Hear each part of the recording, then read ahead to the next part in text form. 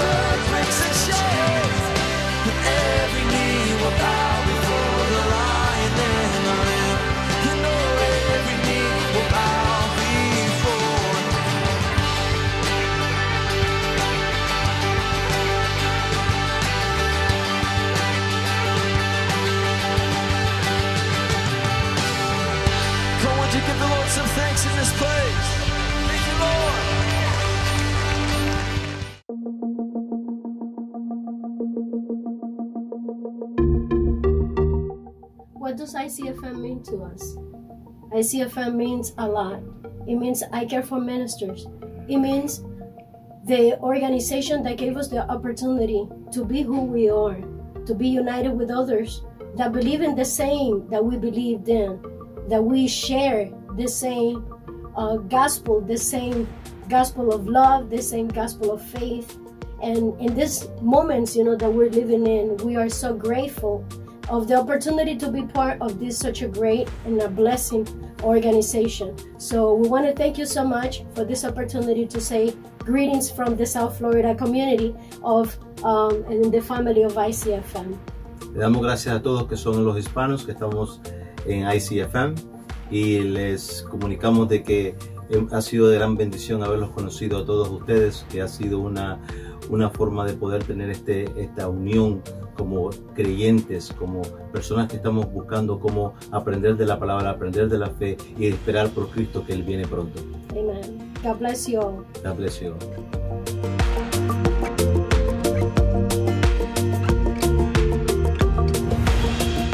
Well, good evening. I would like to take just a few moments tonight to talk to you about a subject that uh, a lot of ministers are dealing with, and people in your congregations are dealing with this, and that is resolving conflicts. Now, conflict means different things to different people, and it has a root source.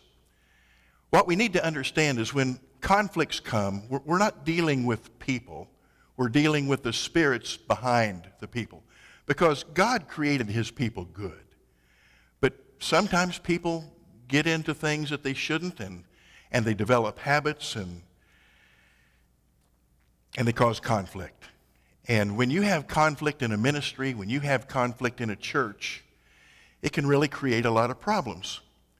Now, Psalm 119, 165 says, Great peace have they which love thy law, and nothing shall by any means offend them.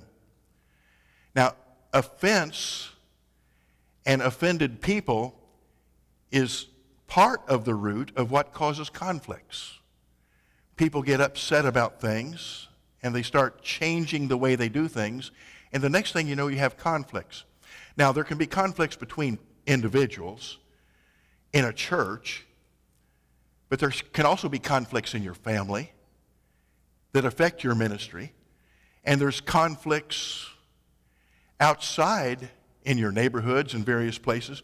But see, God does not expect you to live with conflict. It's difficult to hear what God has for you in your life and, and what He has for you to teach when you're dealing with conflicts. So, what I'm going to do tonight, and there's no way I can do this in just a short time that I have, but I'm going to give you an outline of how to resolve, not just deal with, or to cover up, or to understand, but to how to deal with conflicts and actually get them out of your life. I'm going to give you six steps, and the first one is you've got to get into the Word and get some hope that this conflict can be resolved. Too many times people are living with conflicts that they've lived with so many years that they have no hope that that conflict will ever be resolved. But there is hope. And God doesn't want you to just cope with things the rest of your life because it dulls your, your sensory, your spiritual sensitivity to the things of the Spirit. And that's what the enemy wants. The enemy wants to dull you down so that you just don't receive from God the way you should. And if you're not receiving from God, you're not going to be able to project what God has for the people that He's given you to minister to.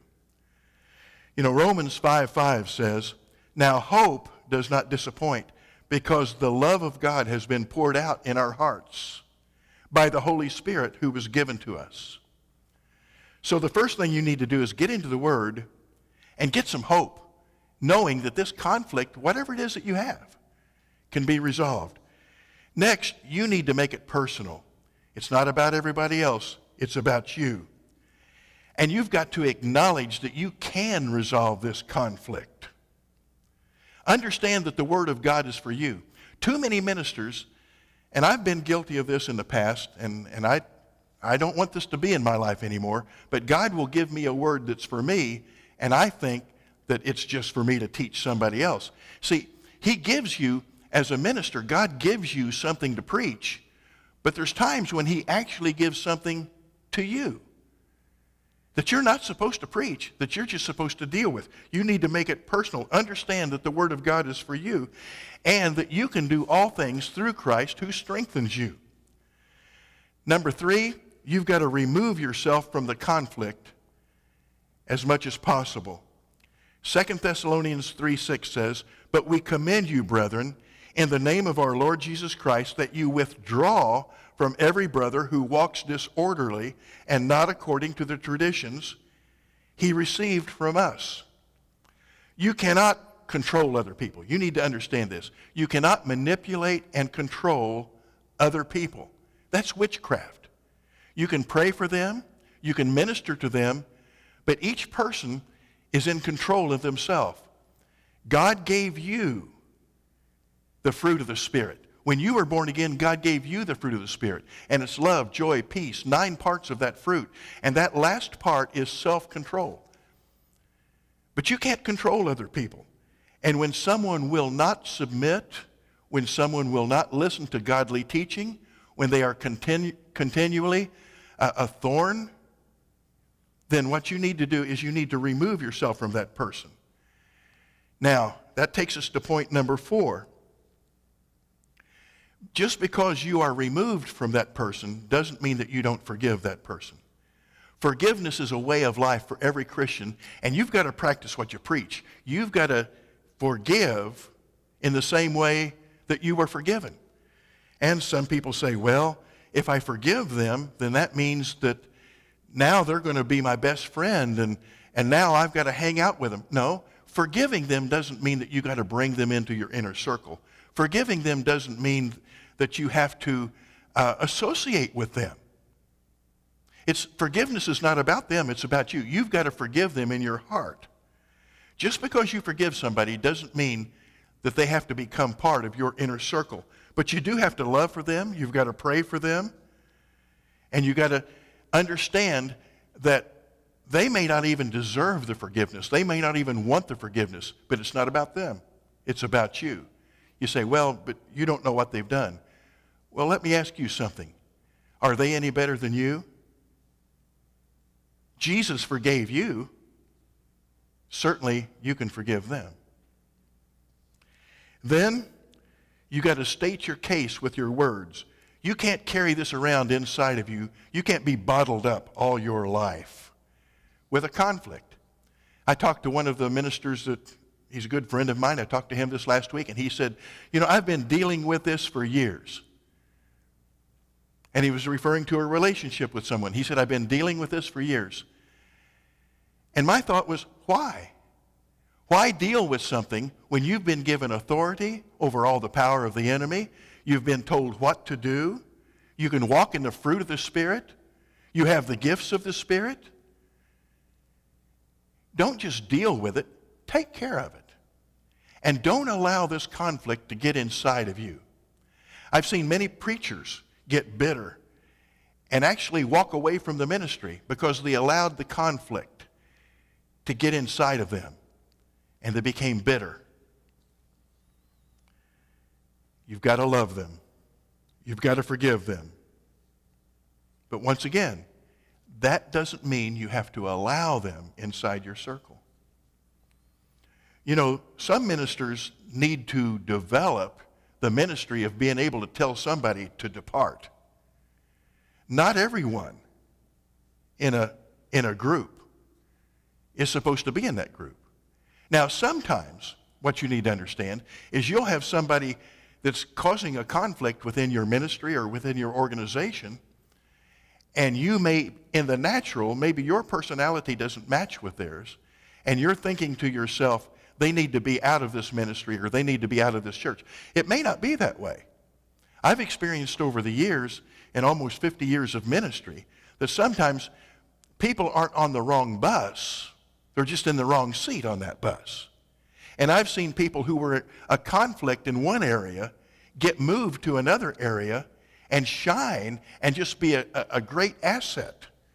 So you need to be understanding and not let something get inside of you. The fifth thing is you've got to state your case with your words.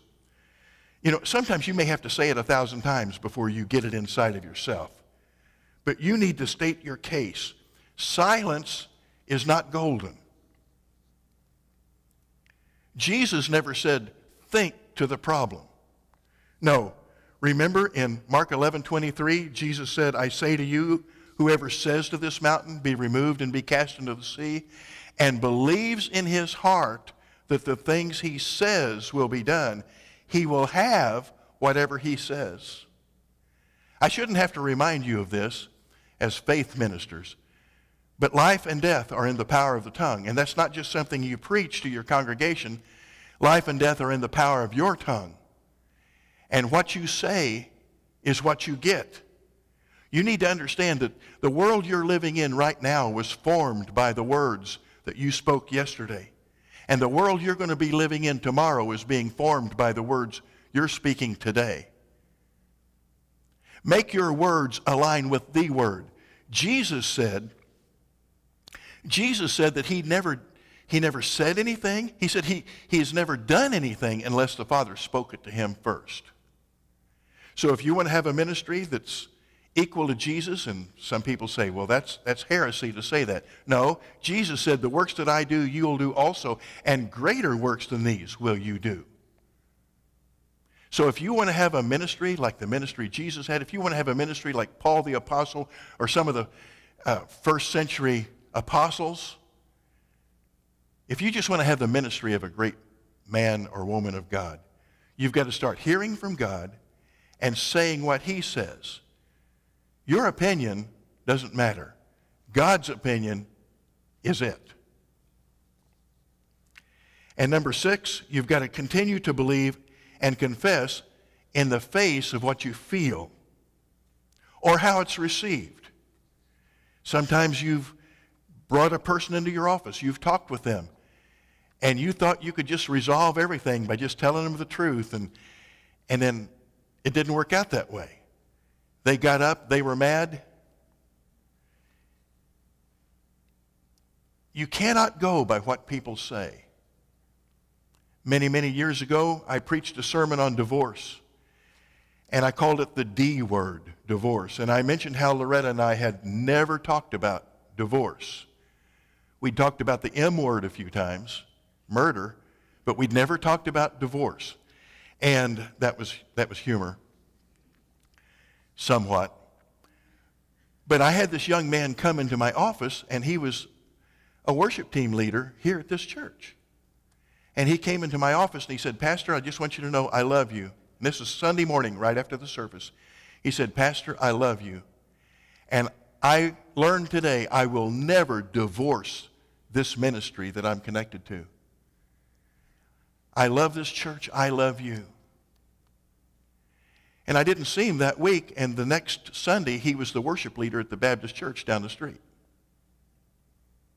So you can't go by what people say. You've got to go by what the Word of God says. And when it comes to re- resolving conflicts, my son said something to me a few years ago that it just keeps bubbling up inside of me. He said, he said Dad, there, there's an answer to every single question that you can ask in the ministry. There's one answer, and that is this. And I said, What is it, son? He said, Be led by the Holy Spirit. So, as a gospel minister, as a, as a member of this great ministers organization, this International Convention of Faith Ministries, I would say this to you. When there's conflict, the first thing you do is seek the wisdom of God. You know, these, there's several things that will happen when you do that. And uh, you'll start living without worry. You'll start living without fear. You'll eat the good of the land and there'll be peace and commitment within your people, and there will be contentment within your people. And you'll find that, that pastoring a church without conflict is wonderful. Traveling in the ministry and uh, Fellowshipping with other ministers without conflict is wonderful. But understand this the enemy is out there. And as it says in John 10 10, the thief comes to steal, to kill, and to destroy. He wants to steal God's anointing from you. He, he wants to destroy your ministry. He, he wants to take away everything that God is trying to do through you. But don't let that happen. Just remember this greater is He that is in you than He that is in the world. Remember this He has given us authority over all the power of the enemy, and nothing shall by any means harm us. And when it looks like you can't make it, when it looks like everything is looking bad and, and you just don't know what to do, remember this. You can do all things through Christ who strengthens you. God bless you.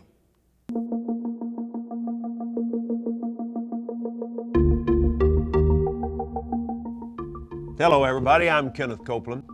I want to talk to you for a moment about something that is very, very important and could be vitally important to your life and to your ministry.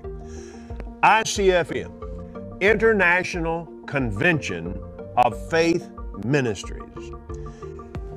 That's a ministry designed to literally lift men and women of God into a powerful place of faith and excellence. The ministry of ICFM has been in my heart really since 1978 when it was first conceived. In fact, I became a member of ICFM on the very first day of its existence, and I'm more excited about it now than I was back then. The ministries God has brought together in this fellowship understand the need we all have to encourage one another. And the Bible says faith, words, nourish. This fellowship is designed to do that.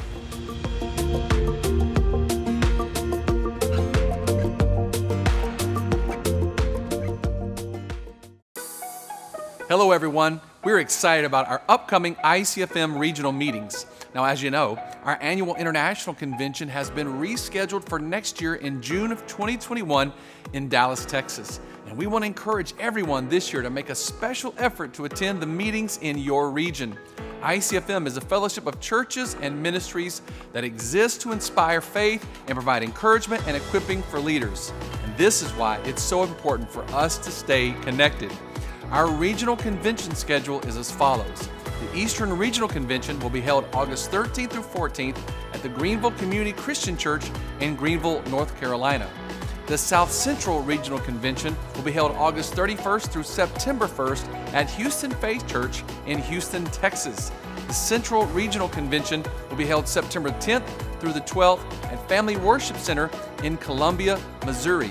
The Southeast Regional Convention will be held September 14th through the 15th at New Life Family Worship in Punta Gorda, Florida. The Southwest Regional Convention will be held September 20th through the 21st at the Household of Faith Family Church in Orange, California. The North Central Regional Convention will be held October 12th through the 13th at Christian Life Church in Delavan, Wisconsin. And the Northwest Regional Convention will be held November 9th through the 10th at Life Change Church in Seattle, Washington. Again, we ask all of our members to make a special effort to attend these regional conventions and be sure to invite other pastors, ministers, and leaders to attend with you. For more information, please visit our website at icfm.org or call 877 348 4236. We love you and we look forward to seeing you this fall.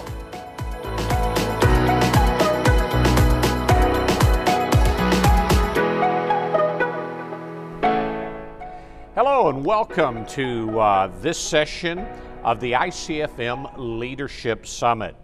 I want to dive right into my uh, subject this evening of balancing life and ministry. The reason I believe this is so important is because in over 45 years of full time ministry, I have seen many examples of individuals who didn't do a very good job of this and it resulted in some disastrous conclusions.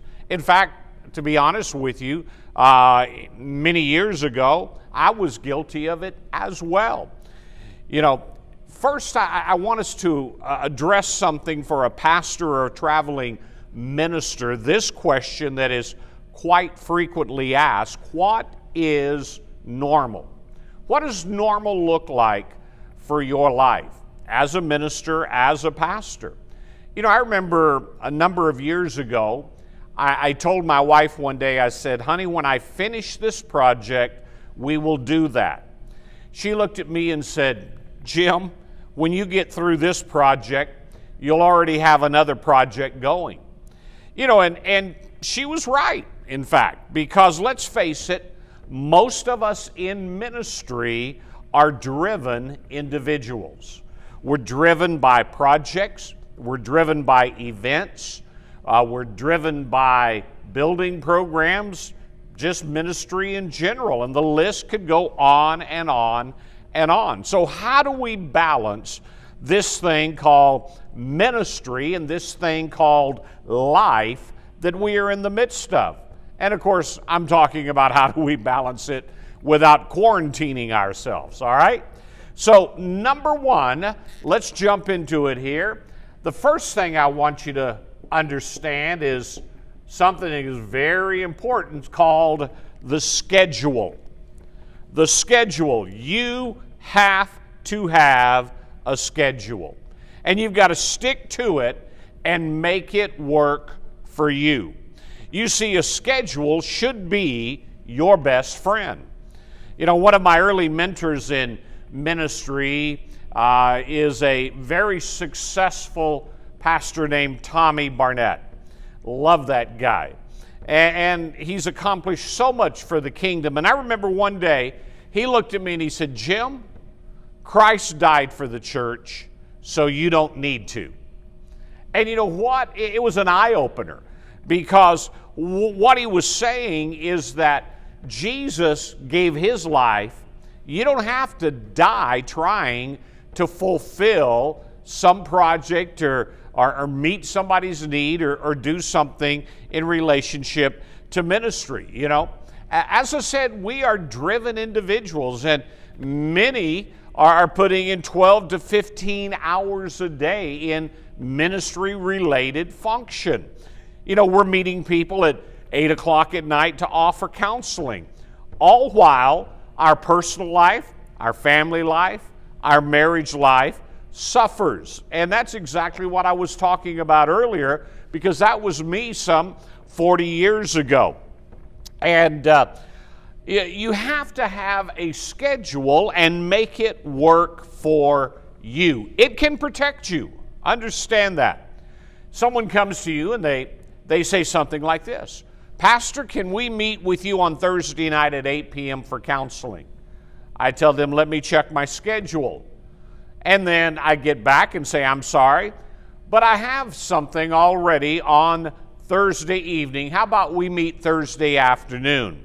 You see, you don't have to tell them that what you have on your schedule is being home with your spouse, going to your kids' baseball game, going to your daughter's piano recital is that yes, you have something on your schedule that is important and priority. And so here's the point that my mentor made to me many years ago when he made that statement. And he said this He said, They'll take off work if necessary to see their dentist, their doctor, their attorney, their tax person, but your schedule is not that important. And so I, I want you to know that your schedule should be your best friend. If you're going to balance life and ministry, you need to have a schedule. Here's the second thing study and prayer time. All right?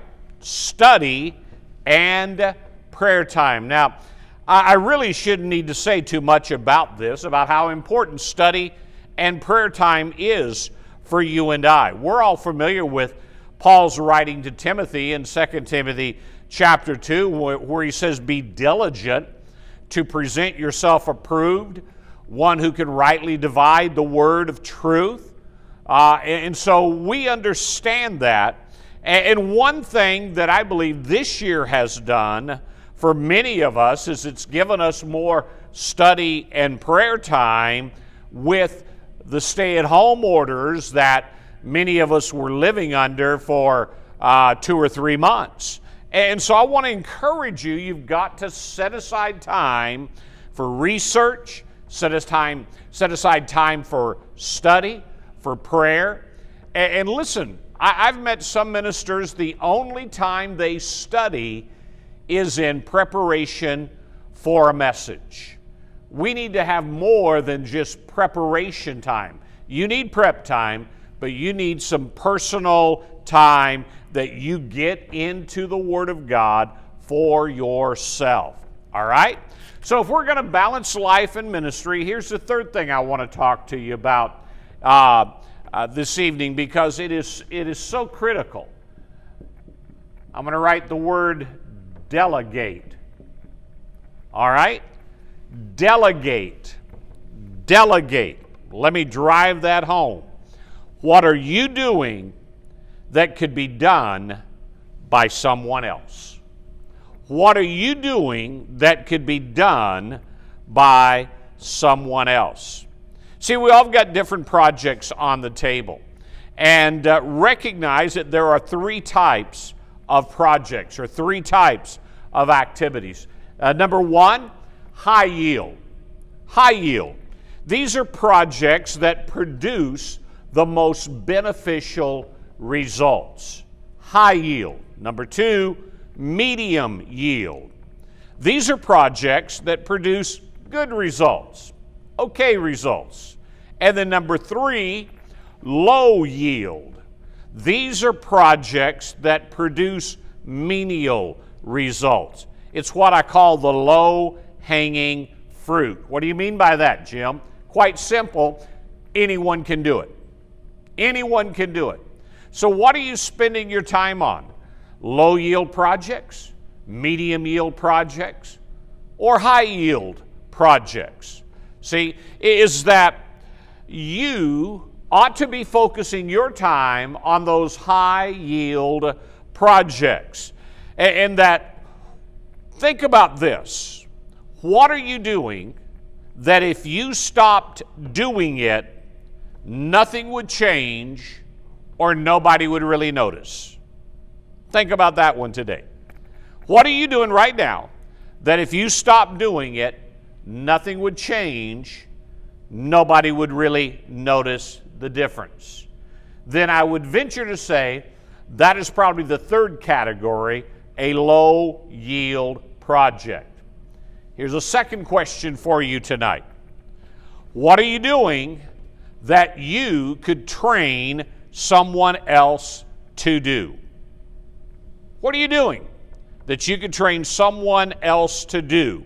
See, the purpose of delegation, to delegate, the purpose of delegation is so that you can take those few hours in a day that you have. And let's, let's face it, time is limited. I don't care what you do, I don't care who you are, you've got 24 hours in a day, and that is it. You can't stretch it out, you can't add any to it. You've got to sleep a certain amount of hours. You have a certain amount of hours you're going to spend getting dressed, eating breakfast, eating lunch, eating dinner. You've got all these different things. So when you recognize I've got a limited amount of time to do these projects in. So you've got to determine that, hey, I want to take this time, I want to focus on high yield projects or high yield activities. So, in order for me to do that, I need to delegate the low yield and the medium yield projects to somebody else. Remember, the Apostle Paul told Timothy, he said to his spiritual son, Commit these things to faithful men who'll be able to teach others. So listen, you've got individuals you can delegate things to and that so that you can do the high yield projects, all right? So let's talk about number 4, all right? Number 4, I'm going to simply write the word peers. Peers. Now you may think this one is an interesting, you, it may catch you by surprise. But I think this is a, a healthy habit for ministers getting together with peers. Meeting with, uh, if you're a pastor, meeting with other pastors. If you're a traveling minister, meeting with other traveling ministers, and vice versa. All right?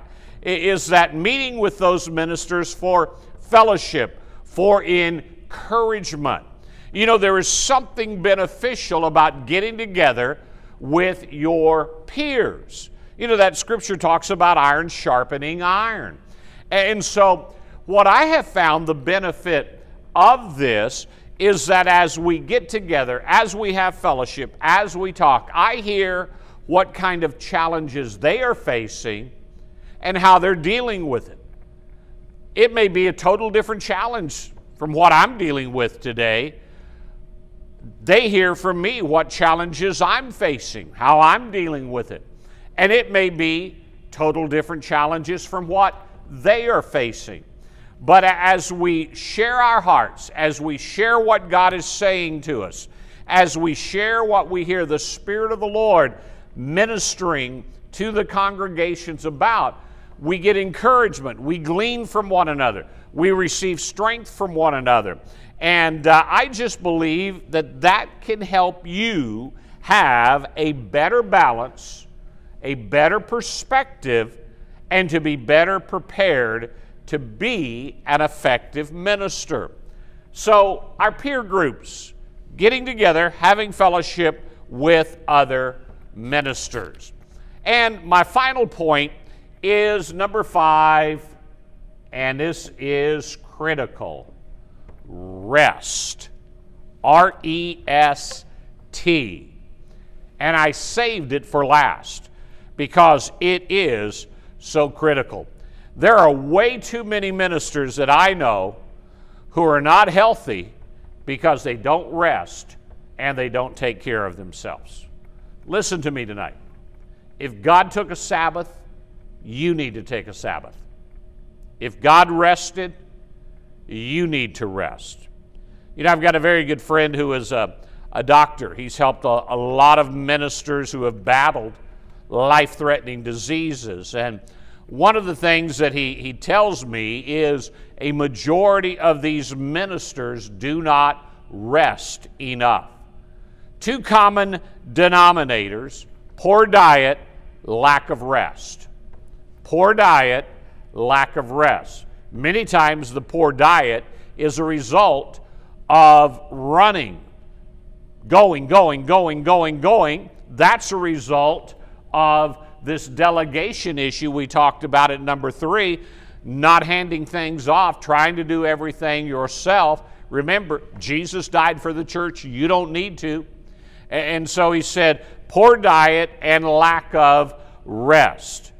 See, you need at least a day a week where that there's no appointments, there's no phone calls, there's no meetings, there's no projects, so you can relax, you can unwind, you can recharge your batteries. Listen, if you like to fish, go fishing.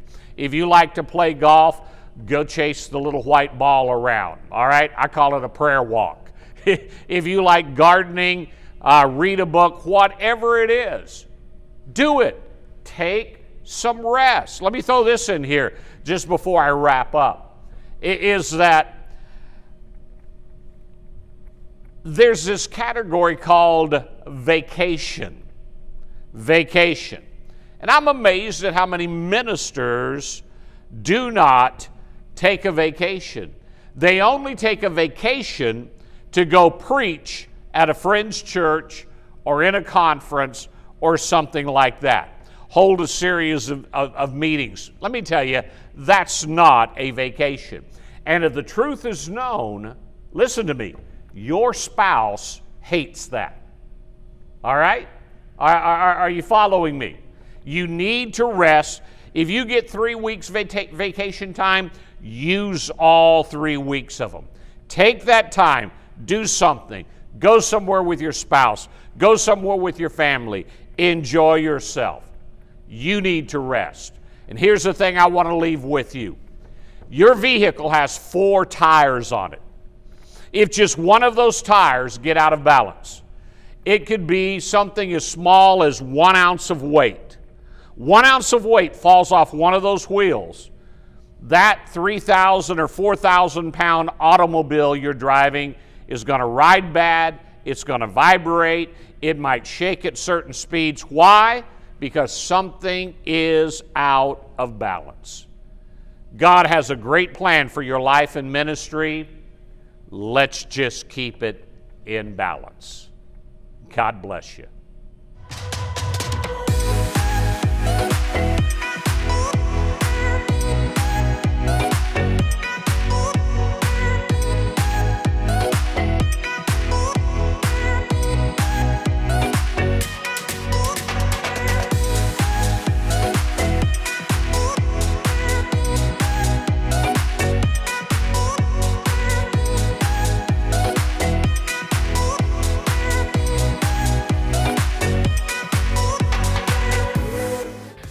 Again, and I pray that this night has been a blessing to each and every one of you who've tuned in. Again, thank you for joining us. And be sure to join us tomorrow night. Remember, 7:30 Central Standard Time for night 3 of this great leadership summit. So have others join you, uh, staff members, other ministers that you know that might need this information. We would be happy to have them watch this with you. So come back and let God prepare you that when the churches are getting back to full speed, we come back into revival, not just survival. God bless you and thank you for joining us.